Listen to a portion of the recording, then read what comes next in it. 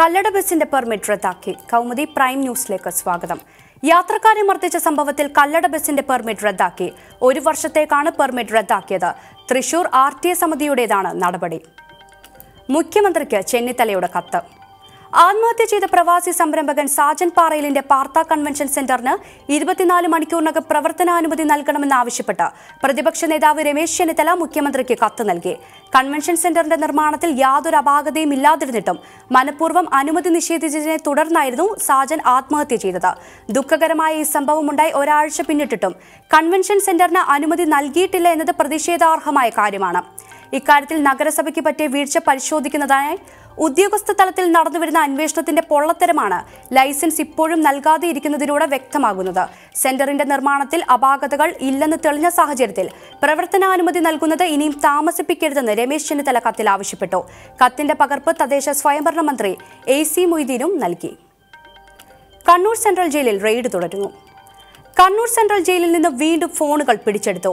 Jail വളപ്പിൽ കുഴിച്ചിട്ട നിലയിൽ ആറ് ഫോണുകളാണ് കണ്ടെടുത്തത്. തുടർച്ചയായ അഞ്ചാം ദിവസമാണ് സെൻട്രൽ ജയിലിൽ നിന്നും ഫോണുകൾ പിടികൂടുന്നത്. സെല്ലുകൾക്ക് മുന്നിലെ ഉത്തരത്തിൽ ഒളിപ്പിച്ച ഫോണുകളും ജയിൽ വളപ്പിൽ കുഴിച്ചിട്ട ഫോണുകളുമാണ് കണ്ടെടുത്തത്. പവർ ബാങ്കുകൾ ഇയർഫോണുകൾ ഉൾപ്പെടെ ലഹരി പദാർത്ഥങ്ങൾ എന്നിവയും പിടിച്ചെടുത്തു. ജയിലിൽ റെയ്ഡ് തുടരുകയാണ്. ജയിലിൽ ഇന്നലെ നടന്ന പരിശോധനയിൽ പത്ത് ഫോണുകൾ പിടിച്ചെടുത്തിരുന്നു. ജയിലിലെ പത്ത് ബ്ലോക്കുകളിലും ജയിൽ വളപ്പിലുമാണ് രാവിലെയും വൈകിട്ടും പരിശോധന. രാഷ്ട്രീയ സംഘർഷങ്ങളിൽ ശിക്ഷിക്കപ്പെട്ട തടവുകാരുള്ള രണ്ട് അഞ്ച് ആറ് ഏഴ് ബ്ലോക്കുകൾക്ക് മുന്നിൽ നിന്നാണ് സ്മാർട്ട് ഫോണുകൾ പിടിച്ചെടുത്തത്. C P M B J P S D P I പ്രവർത്തകരാണ് ഈ ബ്ലോക്കുകളിലുള്ളത്. ശിശുമരണ നിരക്ക് കുറവ് കേരളത്തിൽ. ദേശീയാരോഗ്യ രംഗത്ത് മറ്റ് സംസ്ഥാനങ്ങളെ ബഹുദൂരം പിന്നിലാക്കി കേരളം വീണ്ടും ഒന്നാമതെത്തി. കേന്ദ്ര സർക്കാരിന്റെ ആരോഗ്യ കുടുംബക്ഷേമ മന്ത്രാലയം വേൾഡ് ബാങ്ക് എന്നിവയുടെ സഹകരണത്തോടെ നീതി ആയോഗ് നടത്തിയ പഠനത്തിലാണ് കേരളം ഒന്നാം സ്ഥാനത്തെത്തിയത്. രാജ്യത്തെ ഏറ്റവും കുറഞ്ഞ നവജാത ശിശു നിരക്കും അഞ്ചു വയസ്സിൽ താഴെയുള്ള കുട്ടികളുടെ മരണനിരക്കും കേരളത്തിലാണ്. രോഗപ്രതിരോധ കുത്തിവയ്പ് ആശുപത്രികളിൽ വെച്ചുള്ള പ്രസവം ജനന സമയത്തെ സ്ത്രീ പുരുഷ അനുപാതം എന്നിവയിലും കേരളം മികച്ച നിലയിലാണ്.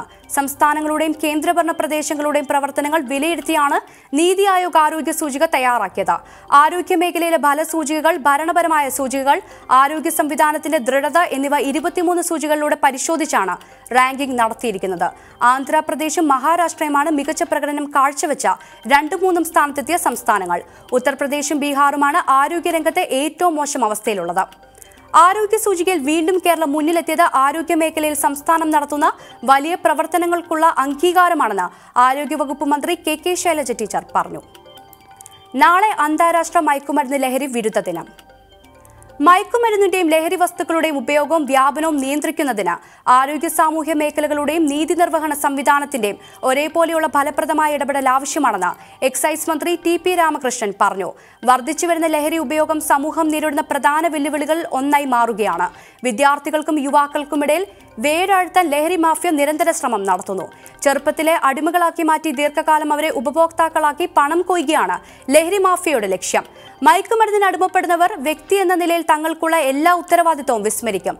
അത് വ്യക്തിപരമായ നാശത്തിലേക്കും കുടുംബത്തിന്റെ തകർച്ചയിലേക്കുമാണ് ചെന്നെത്തുക. ലഹരി ഉപയോഗം സാമൂഹികവും സാമ്പത്തികവും സാംസ്കാരികവുമായി ഒട്ടേറെ ഗുരുതര പ്രശ്നങ്ങളാണ് സൃഷ്ടിക്കുന്നത്. സാമൂഹിക പുരോഗതി അത് സാരമായി ബാധിക്കും. നാടിന്റെ വികസന പ്രക്രിയയെ ദുർബലപ്പെടുത്തും. ഏതൊരു സമൂഹത്തിന്റെ ഭാവി നിർണയിക്കേണ്ടവരാണ് വിദ്യാർത്ഥികളും യുവാക്കളും. വളർച്ചയുടെ വിവിധ ഘട്ടങ്ങളിലൂടെ കടന്നുവരുന്ന കൗമാരക്കാരുടെ ദൗർബല്യങ്ങളാണ് ലഹരി വിതരണക്കാർ മുതലെടുക്കുന്നത്. കുട്ടികളുടെ സാമാന്യ ബോധ്യത്തെ ലഹരിക്കും അനാശാസ്യ പ്രവണതകൾക്കും അടിമപ്പെടുത്തി നശിപ്പിക്കുന്നുവെന്നും മന്ത്രി ടി പി രാമകൃഷ്ണൻ പറഞ്ഞു. പകരം സംവിധാനമൊരുക്കി K S R T C. അന്തർ സംസ്ഥാന സ്വകാര്യ കോൺട്രാക്ട് കാരേജ് ബസ്സുകളുടെ സമരവുമായി ബന്ധപ്പെട്ട് K S R T C അധിക സർവീസുകൾ നടത്തും. അന്തർ സംസ്ഥാന സ്വകാര്യ കോൺട്രാക്ട് കാരേജ് ഉടമകളും സർക്കാരും നടത്തിയ ചർച്ച പരാജയപ്പെട്ടതിനെ തുടർന്നാണ് K S R T C chairman M P Dinesh അറിയിച്ചത്. നിലവിൽ ദിവസേന K S R T C നാൽപ്പത്തിയൊൻപത് ഷെഡ്യൂളുകളാണ് ബാംഗ്ലൂരിലേക്ക് സർവീസ് നടത്തിവരുന്നത്. ഇതുകൂടാതെ കണ്ണൂർ തലശ്ശേരി തൃശൂർ കോട്ടയം എന്നീ ഡിപ്പോകളിൽ നിന്നും പ്രതിദിനം രണ്ട് സർവീസുകൾ വീതവും കോഴിക്കോട് എറണാകുളം എന്നീ ഡിപ്പോകളിൽ നിന്നും മൂന്ന് സർവീസുകൾ വീതവും ചേർന്ന ആകെ പതിനാല് സർവീസുകൾ ബാംഗ്ലൂരുവിലേക്ക് നടത്തും. കൗമുദി പ്രൈം ന്യൂസ് സമാപിക്കുന്നു. ഹെഡ്ലൈൻസ് കാണാം രാവിലെ ഒൻപത് അൻപത്തിയഞ്ചിന്. ശുഭരാത്രി.